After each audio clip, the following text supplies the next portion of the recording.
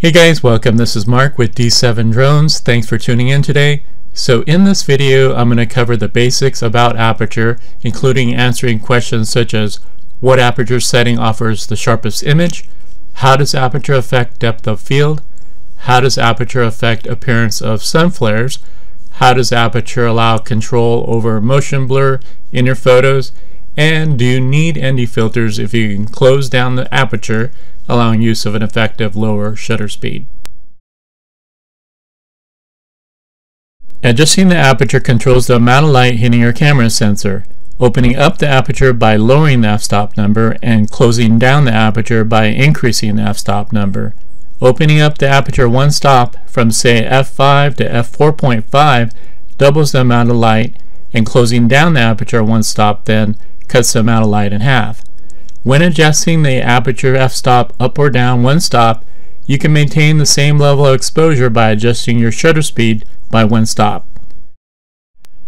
This is helpful when using ND filters so you can adjust both the aperture and ISO to help set the effective shutter speed to get cinematic motion blur, meaning setting your shutter speed to be double the inverse of your video frame rate. So let's get into the fun stuff here with some testing. Here I'm going to show you the effect that aperture has on the appearance of sun rays.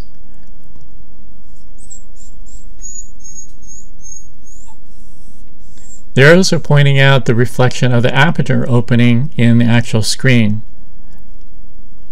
Here at f11, f10, f9, f8, f7.1, 6.3, 5.6, 5.0, 4.5, 4.0, 3.5, 3.2, and finally 2.8. I do see a little bit more of the sun rays appearing at 2.8 than 3.2.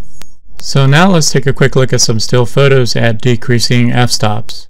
The highest f-stop number, f11, has the most sun flares, f9.0, f7.1, F5.0 shows a significant decrease in sun flares, F4.0 and F2.8 actually increases a little bit of the sun flares. Depth of field allows you to have a subject in focus while other subjects closer or further away are out of focus. Here's an example of a photo taken with my Panasonic GX85 at f3.8 where you'll see the foreground is in focus but not the background.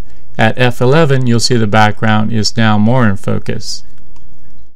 So to test this out with the Mavic 2 Pro, here's a shot at f11 with the focus point on the green boat, and here's a shot at f2.8 when you would expect to see the background to become out of focus.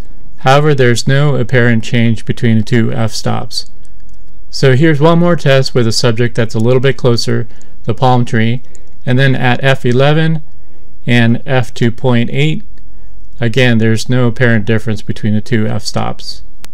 I do have a separate video on this that goes into a lot more depth. Link is in the description. Higher aperture settings can result in diffraction due to light waves passing through a small aperture opening and interfering with itself causing a soft image. So here I've taken a photo at f11 which is the smallest aperture opening and I'll zoom in so we can better see any image softness and then I'll open up the aperture at a few f-stops and see if there's any difference in the softness of the images due to diffraction.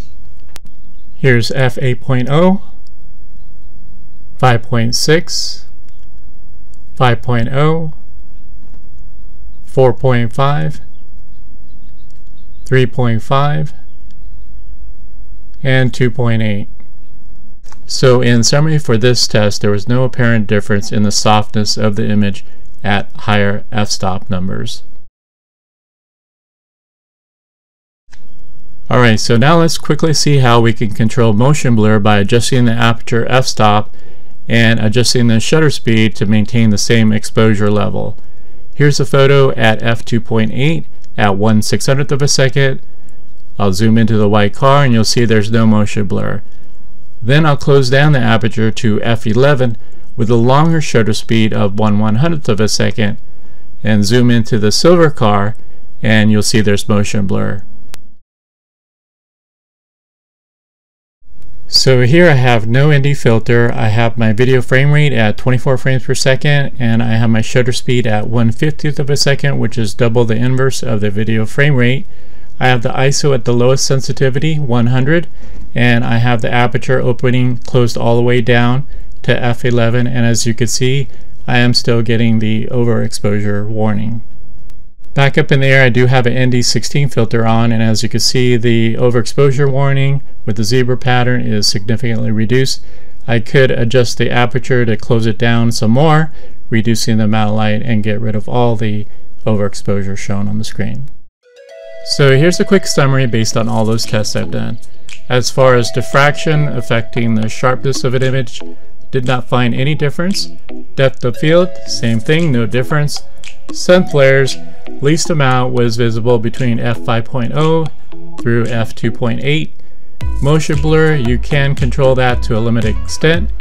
And do you need ND filters when you have an aperture to adjust the amount of light? The answer is yes. ND16 should be suitable for most sunny conditions. Alright guys, so that's it. Thanks for watching. Know this was a pretty detailed test that I ran through for the aperture, but hopefully you picked up some things that you found helpful. If you did, appreciate you hitting that like button. And of course, I've got a lot more videos coming up, so be sure to subscribe if you like. Alright guys, thanks again. Happy flying. Bye.